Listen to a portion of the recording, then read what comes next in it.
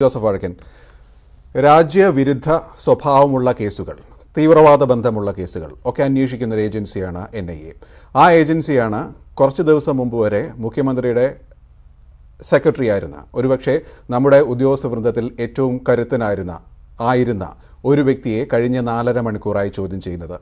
മാത്രമല്ല രാജ്യവിരുദ്ധ സ്വഭാവമുള്ള കേസുകൾ അന്വേഷിക്കുന്ന എൻ ഐ എ എന്ന ഏജൻസി സെക്രട്ടേറിയറ്റിലേക്കും അന്വേഷണം വ്യാപിപ്പിക്കുന്നു. സി സി ടി വി ദൃശ്യങ്ങൾ ആവശ്യപ്പെട്ടിട്ടുണ്ട്. ഈ ഒരു സാഹചര്യത്തെ ഇതിനു മുമ്പ് നമ്മുടെ നാട്ടിൽ കണ്ടിട്ടില്ലാത്ത കേട്ടുകേൾവിയില്ലാത്ത ഈ ഒരു സാഹചര്യത്തെ എങ്ങനെയാണ് പ്രതിപക്ഷം കാണുന്നത്?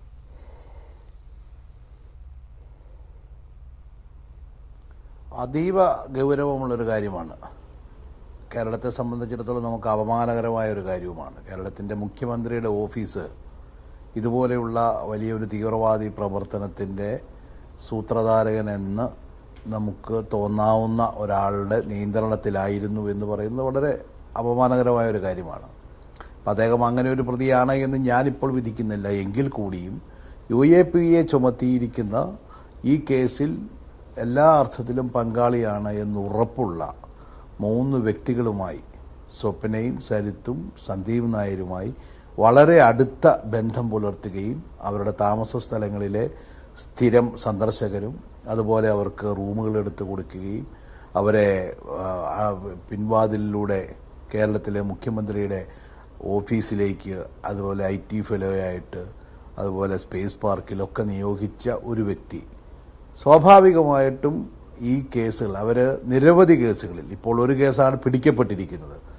ഏതാണ്ട് നൂറുകണക്കിന് കിലോ സ്വർണം ഈ ഡിപ്ലോമാറ്റിക് ചാനലിലൂടെ കൊണ്ടുവന്നു എന്ന് മനസ്സിലാക്കുമ്പോൾ അത് വലിയ ഒരു രാജ്യദ്രോഹ പ്രവർത്തനമാണ് എന്ന് പറയുമ്പോൾ ഇത്രയും ശക്തരായ ഒരു ഗവൺമെന്റ് ഓഫീസറുടെ അല്ലെങ്കിൽ ഒരു മുഖ്യമന്ത്രിയുടെ പ്രിൻസിപ്പൽ സെക്രട്ടറിയുമായി ആത്മബന്ധം പുലർത്തിയിരുന്ന ആളുകൾ തീർച്ചയായിട്ടും അവരുടെ കേരളത്തിലെ അത്തരം നിയമവിരുദ്ധ പ്രവർത്തനങ്ങൾക്ക് രാജ്യദ്രോഹ പ്രവർത്തനങ്ങൾക്ക് അദ്ദേഹത്തിന്റെ സൗഹൃദം ഉപയോഗിച്ചിട്ടുണ്ട് എന്ന കാര്യത്തിൽ ആർക്കും അങ്ങനെ സംശയമുണ്ടാകാനിടയില്ല അതുകൊണ്ട് തന്നെയാണ് എൻ ഐ എ അദ്ദേഹത്തെ ചോദ്യം ചെയ്യുന്നത്.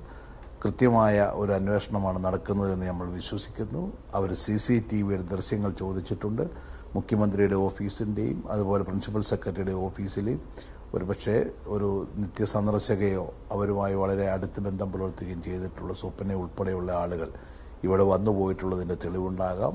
നാല് നാലര വർഷം തന്റെ എല്ലാ പ്രവർത്തനത്തിന്റെയും സ്ഥിരാകേന്ദ്രമായി ഉപയോഗിച്ച മുഖ്യമന്ത്രിയുടെ ഓഫീസ് ഇത്തരം കാര്യങ്ങൾക്കാണ് ഉപയോഗിച്ചത് എന്ന് വന്നാൽ ഇത് ശ്രീ മുഖ്യമന്ത്രി ശ്രീ പിണറായി വിജയന് പിന്നെ അവിടെ ഒരു നിമിഷം പോലും ഇരിക്കാൻ കഴിയുമെന്ന് എനിക്ക് തോന്നുന്നില്ല.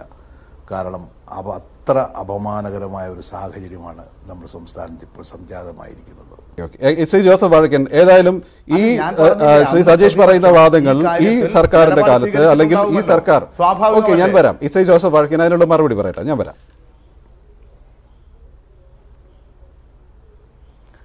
ഞാൻ ഈ പി സി അലക്സാണ്ടറെ സംബന്ധിച്ച് ഇത്തരത്തിൽ ഒരു കുറ്റവാളിയായി അദ്ദേഹം ചിത്രീകരിക്കപ്പെട്ടതായി ഞാൻ ഇന്നേ വരെ കേട്ടിട്ടില്ല. കുമരനാരായണന്റെ കേസും മറ്റു കാര്യങ്ങളെക്കുറിച്ച് ഞാൻ കേട്ടിട്ടുണ്ട്. ഇത് പത്ത് മുപ്പത് മുപ്പത്തഞ്ച് വർഷങ്ങൾക്ക് മുമ്പ് നടന്നിട്ടുള്ള കാര്യമാണ്. ഇന്ദിരാഗാന്ധിയുടെ കാലത്തും പിന്നീട് ഇന്ദിരാഗാന്ധിയുടെ പ്രിൻസിപ്പൽ അഞ്ചു പേർ ശിക്ഷിക്കപ്പെട്ടത് താങ്കൾക്ക് അറിയാമോ? പ്രധാനമന്ത്രിയുടെ അഞ്ചു പേർ. പേര് ആളാണ്. വേണമെങ്കിലും ഞാൻ പറയാം. അഞ്ചു മലയാളിയാണ്. വേണമെങ്കിൽ. താങ്കൾ സംസാരിക്കുന്നത് മുഴുവൻ അദ്ദേഹം കേട്ടിരുന്നു. അദ്ദേഹം പറയാം ഞാനൊന്ന് പൂർത്തിയാക്കിക്കോട്ടെ. ഞാൻ തീർച്ചയായും. ഞാൻ പി സി അലക്സാണ്ടറുടെ കാര്യമാണ് പറഞ്ഞിട്ടുള്ളത്. മറ്റേ ഏതെങ്കിലും ഓഫീസറുടെ കാര്യമല്ല. മുഖ്യമന്ത്രിയുടെ പ്രധാനമന്ത്രിയുടെ ഓഫീസിലെ പ്രിൻസിപ്പൽ സെക്രട്ടറി ആയിരുന്ന അദ്ദേഹം മരിക്കുന്നിടം വരെ ഒരു രാജ്യസ്നേഹമുള്ള ഒരു ഓഫീസറായിട്ടാണ് അദ്ദേഹം അറിയപ്പെട്ടിരുന്നത്. മലയാളിയായ ഒരാളാണ്. അദ്ദേഹത്തെ സംബന്ധിച്ച് ഈ തരത്തിൽ ഒരു കുറ്റവാളിയായി ഞാൻ ഇന്നേ വരെ കേട്ടിട്ടില്ല. ഇതെന്റെ ആദ്യത്തെ അറിവാണ്. ഞാനത് വേണമെങ്കിൽ അതൊന്നുകൂടെ വെരിഫൈ ചെയ്തതിന് ശേഷം ഞാൻ ഇതിന്റെ ബാക്കി കാര്യങ്ങളെക്കുറിച്ച് പറയാം. അദ്ദേഹം പ്രിൻസിപ്പൽ സെക്രട്ടറി എന്ന നിലയിൽ ഒരുപക്ഷെ അദ്ദേഹത്തിൽ നിന്ന് വിവരങ്ങൾ ആരാഞ്ഞിട്ടുണ്ടാകാം അദ്ദേഹം വിവരങ്ങൾ ചോർത്തിയിട്ടുണ്ടാകാം. ഇവിടെ സംഭവിച്ചിരിക്കുന്നത് ശിവശങ്കറിന്റെ കാര്യത്തിൽ അതല്ല സംഭവിച്ചിരിക്കുന്നത്. യു എ പി എ ചുമത്തിയ മൂന്ന് പ്രധാനപ്പെട്ട പ്രതികൾ ആ പ്രതി അദ്ദേഹം എന്തിനായിരുന്നു രാജിവെച്ചത്? അദ്ദേഹം എന്തിനായിരുന്നു രാജിവെച്ചത്? താങ്കൾ പറയൂ. അദ്ദേഹം എന്തിനായിരുന്നു രാജിവെച്ചത്? സജീവ്, പ്രധാനമന്ത്രിയുടെ ഓഫീസിലുള്ള അഞ്ചു പേർ ശിക്ഷിക്കപ്പെട്ടത്? പത്തു വർഷമാണ് ശിക്ഷിക്കപ്പെട്ടത്.